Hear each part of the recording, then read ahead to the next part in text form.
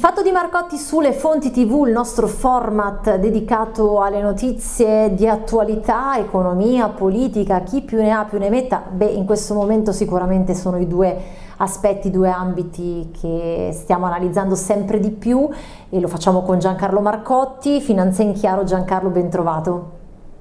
Grazie Emanuela e come di consueto un saluto a tutti gli ascoltatori. Allora, una settimana calda, si spera che eh, questo caldo continui a farsi sentire per un bel po', visto che il problema principale è l'energia e eh, insomma se dovesse invece arrivare il freddo cominceremo davvero a rabbrividire anche a casa nostra, ma arriviamo eh, per gradi, scusate questa non era voluta, ma insomma di gradi parleremo, alla questione. Andiamo a vedere quali saranno gli argomenti di questa puntata del fatto di Marcotti. Intanto vabbè, gli scenari economici e politici, quelli servono da introduzione, ma parleremo di cosa succede se la Russia taglia il gas in modo effettivo, già le minacce arrivano, abbiamo visto la vicenda di Nord Stream, dovevano essere tre giorni di manutenzione, poi di fatto è successo altro, ne parleremo naturalmente con Giancarlo e poi ancora questa guerra del gas. Allora, Guerra Russia e Ucraina, guerra militare, è diventata una guerra economica a tutti gli effetti, non lo scopriamo certo oggi, oggi è diventata ancora di più una guerra del gas, scenari per l'Italia e l'Europa e poi si sta parlando molto del rischio imprese in Italia, questo è un tema veramente importantissimo, che fine faranno le nostre imprese? Eh, perché si parla di deindustrializzazione, l'allarme è arrivata proprio da Confindustria del Nord, proprio si rischia eh, chiusura eh, totale per alcune imprese a causa di questi 40 miliardi di costi extra proprio per le bollette dell'energia. Allora, Sarebbe Giancarlo da partire da questo perché credo che sia l'aspetto più grave e importante, ma ci arriviamo tra un istante.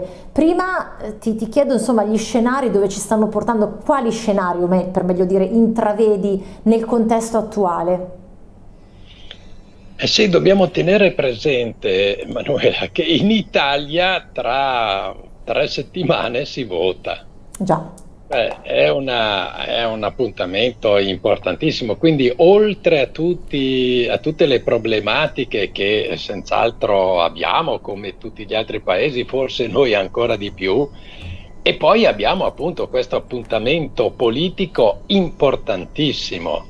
Ora, eh, le previsioni sono tutte in un'unica direzione, cioè per una vittoria netta da parte del centrodestra, ma indipendentemente dal fatto di chi vincerà, senz'altro si ritrova a dover gestire una situazione estremamente complicata.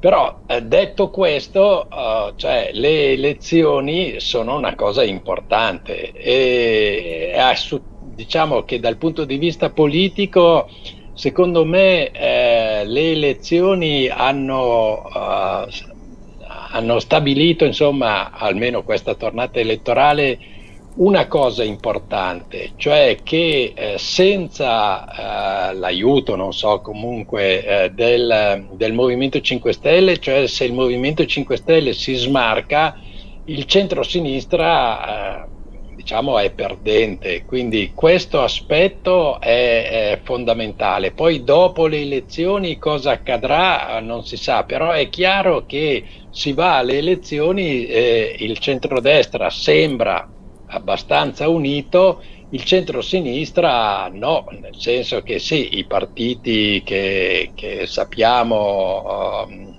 però di fatto il centro-sinistra è rimasto solo ed esclusivamente il Partito Democratico.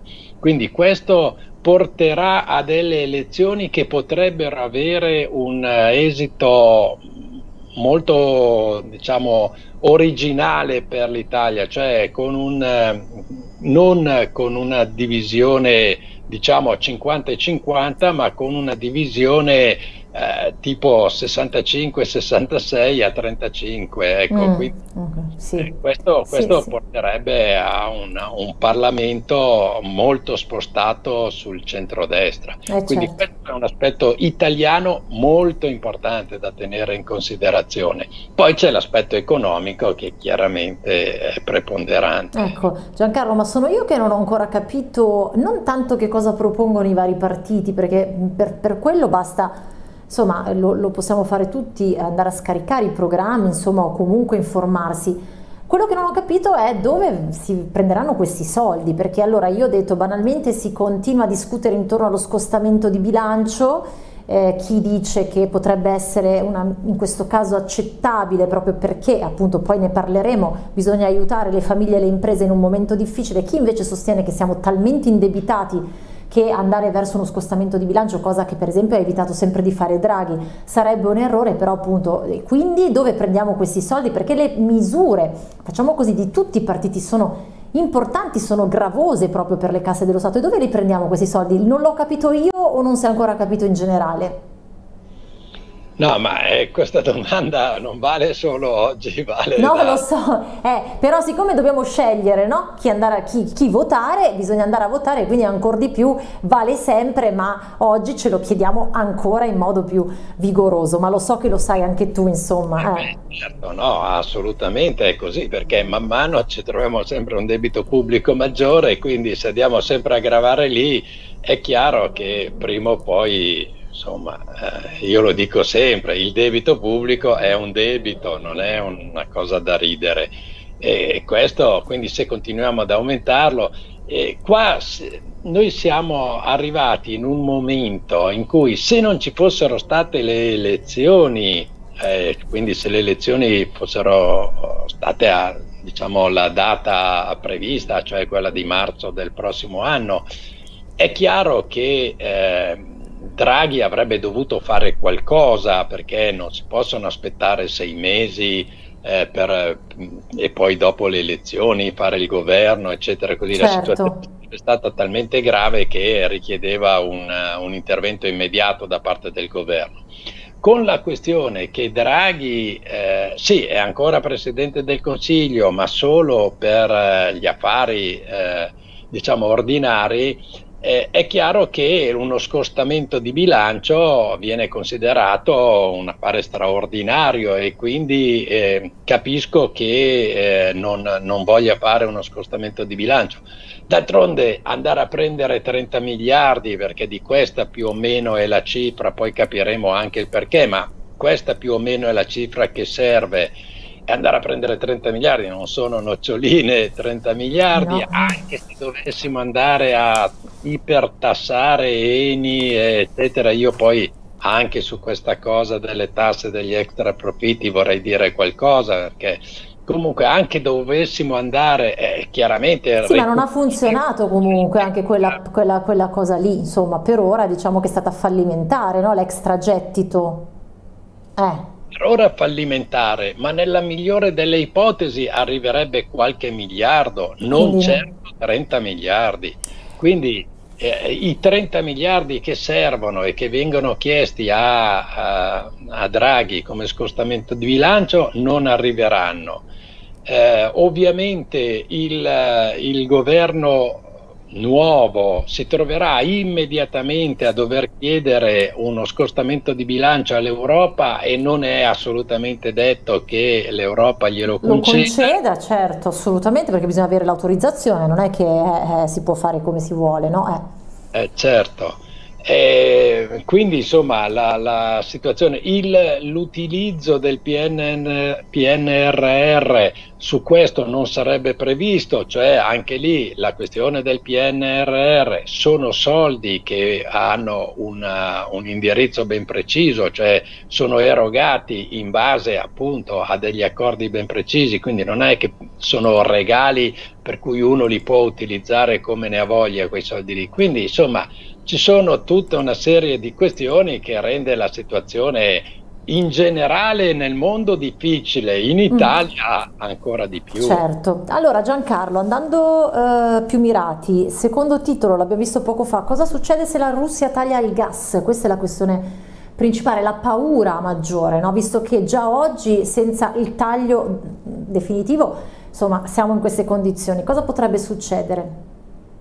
Allora, Dunque, e qua è abbastanza semplice la cosa, nel senso che eh, ci riferiamo a chi si è mosso prima di noi, cioè la Germania.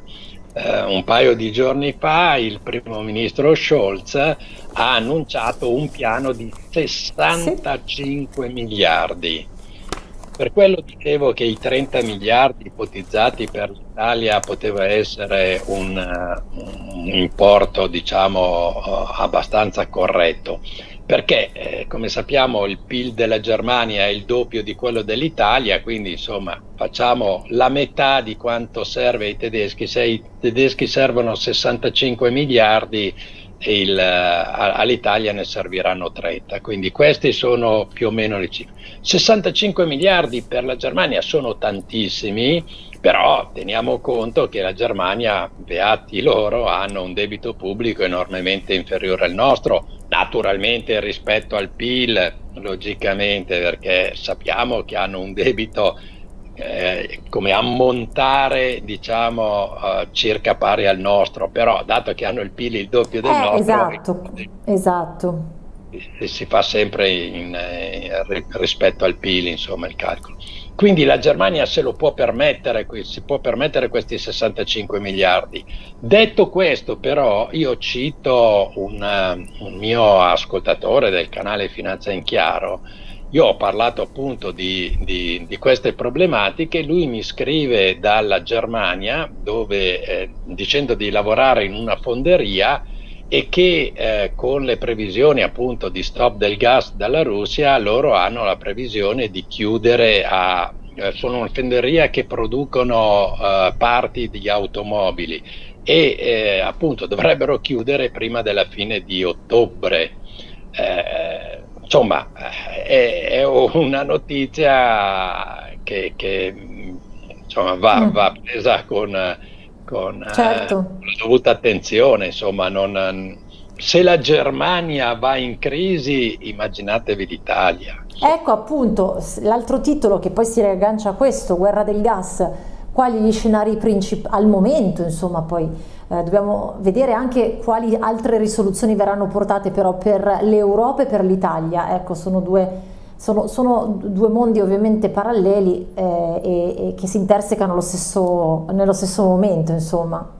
Guarda, qua Manuela mi riallaccio a quanto ha detto prima Andrea, no? sì. che ha detto una cosa giustissima, cioè dice eh, noi abbiamo fatto delle eh, sanzioni senza avere un piano B. No? E, ed ha perfettamente ragione. Eh, L'unica cosa era che il, il piano B non c'era perché probabilmente non esiste, cioè eh, purtroppo eh, noi abbiamo, noi l'Italia il, si dice per il 40%, la Germania addirittura per il 55% de, dipendavamo dal gas russo. Se non arriva il gas russo, riempire fai tutti i risparmi che vuoi, fai tutte le, le, le, cose che vuoi, ma non puoi fare a meno di una cosa che pesava per un, il 40% in Italia e per il 55% in Germania. Cioè non c'era un piano B, non è che va bene allora abbiamo lì delle centrali inutilizzate, le rimettiamo in, in sesto e quindi possiamo fare a meno del gas russo, non, non c'era Ovviamente anche i russi, se non vendono il gas a noi, hanno un problema perché devono trovare altri sbocchi eh, dal, da, per vendere appunto il loro gas perché sappiamo che la, una gran parte del loro PIL è proprio uh, determinata dalla vendita del, dei, dei, loro prodotti energetici, insomma di gas e petrolio, oltre che di tante altre materie prime. Quindi è chiaro che anche ai russi le sanzioni peseranno, però eh, anche qua le sanzioni, eh, Manu, fammi dire questo, cioè sì.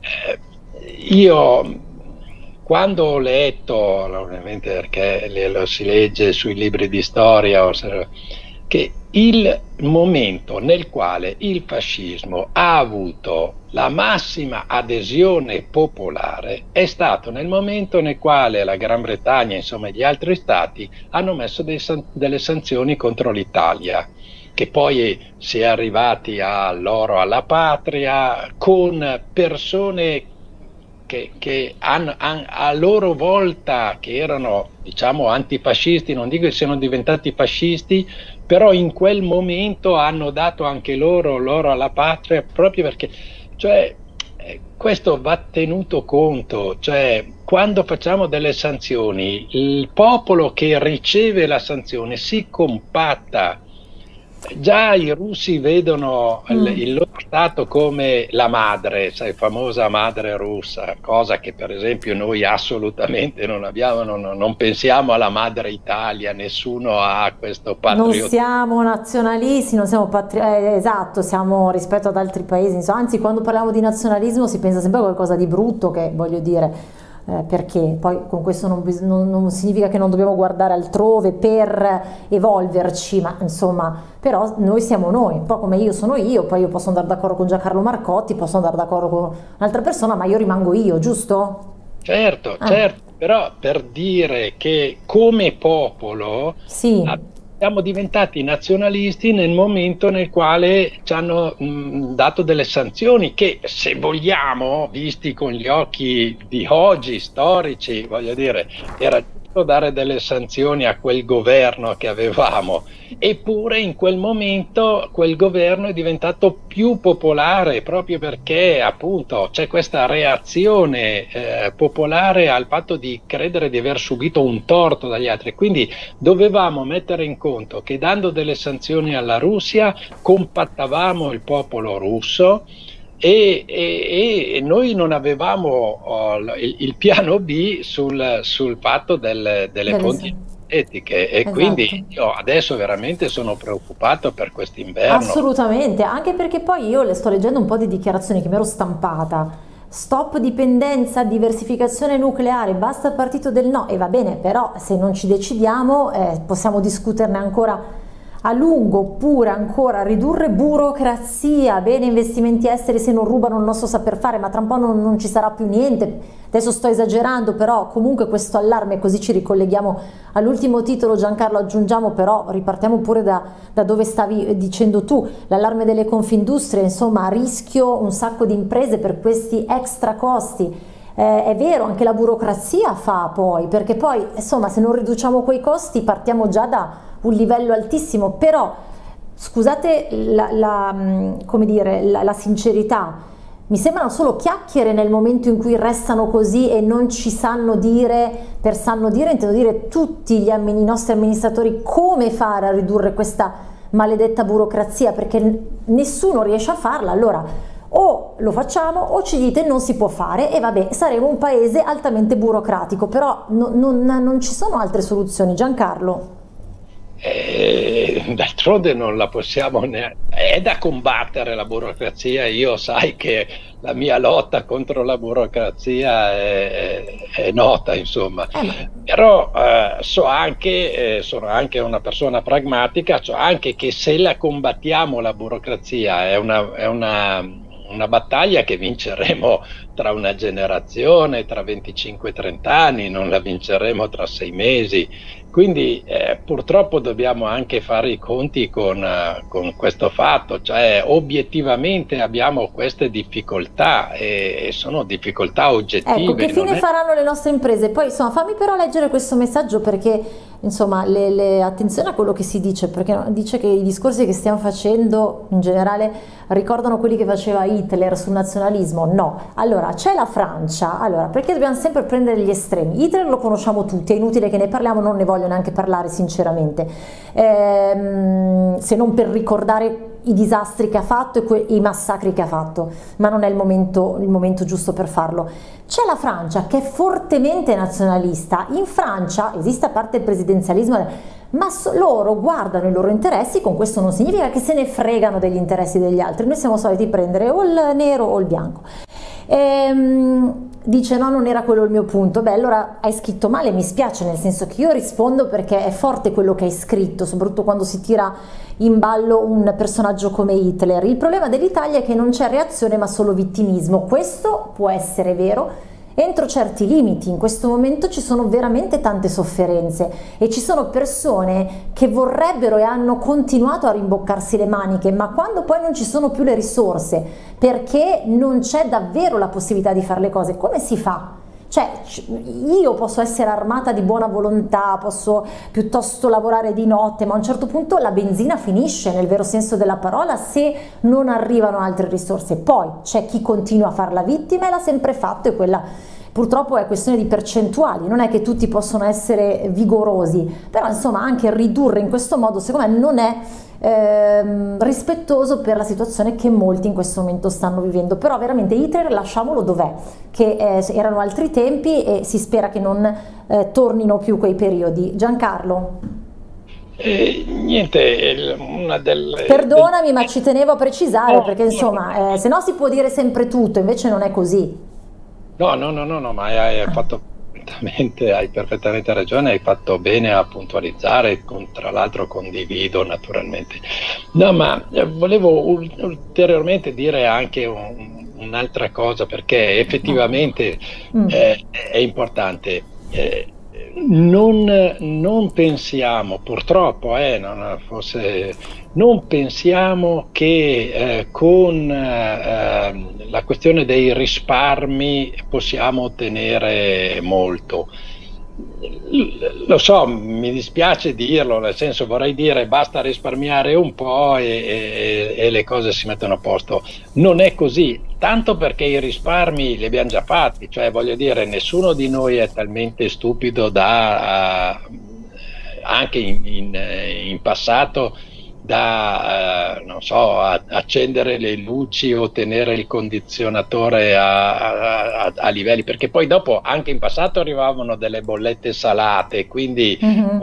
eh, certo quella questione dei 19 gradi, eccetera, guardate che la maggior parte degli italiani non, non, non aveva in casa 25 gradi, aveva in casa 18-19 gradi e nelle eh, stanze che non utilizzavano si spegneva tutto perché nessuno buttava via i soldi precedentemente. Quindi eh, qua è la, la, questione fondamentale è che qua si prevede, poi io mi auguro che invece gli aumenti siano, sì, ci siano degli aumenti ma sopportabili, il problema è che invece si prevede che questi aumenti diventino insopportabili. Appunto, è quello che dicevo prima io, certo, certo. E insopportabili soprattutto per l'industria, attenzione, cioè, eh, noi dobbiamo anche pensare in quello uno può essere di destra, di sinistra, ma insomma eh, è, è, stupido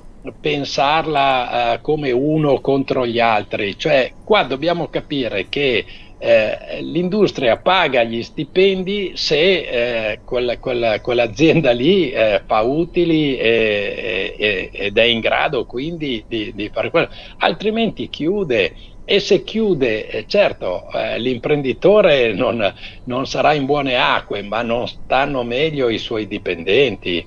Certo. Quindi, eh, Va bene, è... c'è l'amico che dissente anche sull'espressione risparmiare non basta, non vedo perché non, è, non sia così, cioè se io risparmio posso comprare la pasta per mangiare, ma certo non per investire. Adesso, detto proprio così, noi stiamo parlando del sistema paese. Il risparmio nei momenti difficili serve per farci un tesoretto, per poter far fronte alle nostre emergenze per nostre intendo dire come individui o come imprese, ma per andare oltre serve altro che risparmio. Certo, se poi si ha la fortuna di poter risparmiare molto oppure di avere già un risparmio importante, si può attingere a quel risparmio, ma insomma il risparmio non basta più quando ci sono altre emergenze. Va bene, comunque insomma ciascuno giustamente la vede anche nel, nel modo in cui crede e mi fa piacere anche condividere le, le riflessioni.